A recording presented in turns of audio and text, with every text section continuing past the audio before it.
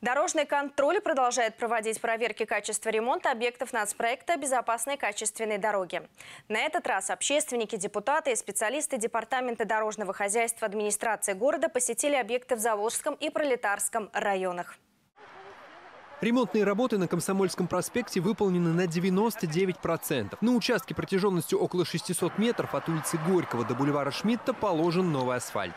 Остаются работы это по нанесению дорожной разметки, разделяющей транспортные потоки попутных направлений, э, обозначение пешеходных переходов, а также восстановление асфальтобетонного покрытия вокруг колодцев, которые в настоящее время ремонтируются сетевыми организациями. Изменениям рады и те, кто живет рядом, и те, кто здесь работает. Очень приятно теперь э, парковать э, свои машины, машины сотрудников и наблюдать за чистотой. Очень как бы этому рады.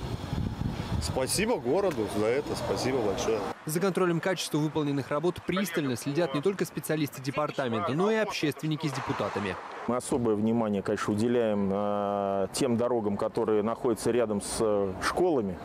А здесь рядом у нас и 46-я, и 35-я школа, и, в принципе, так недалеко здесь и 53-я школа находится.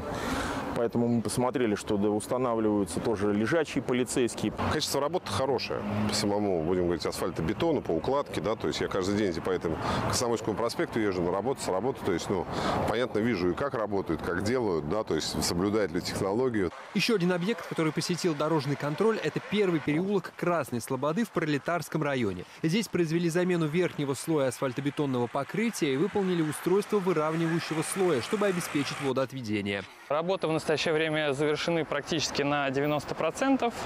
Э, верхний слой весь уложен. Осталось укрепить обочины асфальтобетонной крошкой и нанести разметку. Совсем рядом с дорогой расположена школа. Важно, чтобы этот участок был безопасным для передвижения детей, отметили участники приемной комиссии. В процессе э, проведения ремонтных работ неоднократно общались с жителями. Я надеюсь, что по окончании работ дорожники учтут все их пожелания.